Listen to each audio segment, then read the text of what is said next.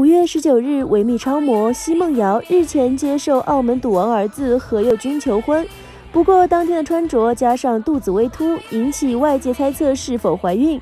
当时准婆婆已很难说暧昧回应。近日，奚梦瑶亮相红毯，她身穿雪白色洋装，上半身领口是 V 字低领设计，在两侧腰部位置挖空，下半身从腹部开始是纱质蓬蓬裙，上下各露出光滑美背以及笔直玉腿，有种白天鹅的即视感。微兔的腹部竟变平坦，但第二套腰间挖空的设计却挤出双层腰间肉，怀孕传闻再起。非凡娱乐实时报道。